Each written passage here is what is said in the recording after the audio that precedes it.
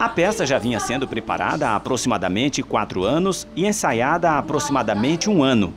Sob direção de André Ribeiro, a performance teatral marca um novo momento do balaio coletivo e a volta aos palcos de Fernanda Silva, que interpreta a garota da peça intitulada A Garota e o Anjo.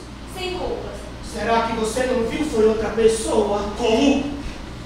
Essa história está um tanto confusa. Se um anjo fosse aparecer, por que, que ele viria logo sem roupas? A Garota e o Anjo ele é um espetáculo inspirado, livremente inspirado na lenda do anjo da Catedral de Caxias, né? E conta a história de um ser humano, que é a garota, e um ser divino. E esse encontro é, provoca uma chuva de verdades em relação a essa garota. A Garota e o Anjo traz à tona questionamentos de valores tradicionais, a exemplo do pai autoritário, que são colocados em xeque na atualidade.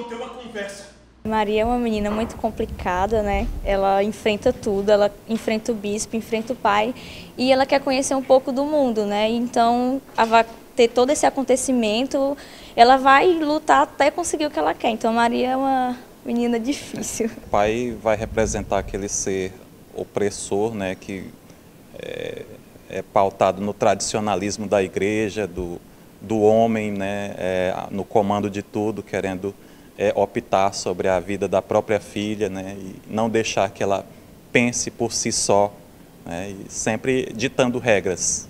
Com uma licença poética que mistura ficção e temas da realidade, os textos do poeta Manuel de Páscoa Medeiros Teixeira, conhecido popularmente como Passinho, ganha novas interpretações ao contar a lenda do anjo da igreja da Catedral de Caxias, que também retrata um pouco da princesa do sertão.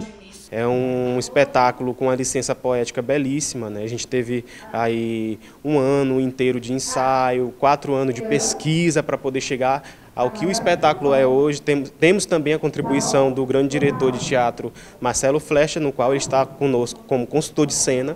O espetáculo está em cartaz na Sala de Cultura Martinha Reis, no Serviço Social do Comércio, o Sesc Caxias.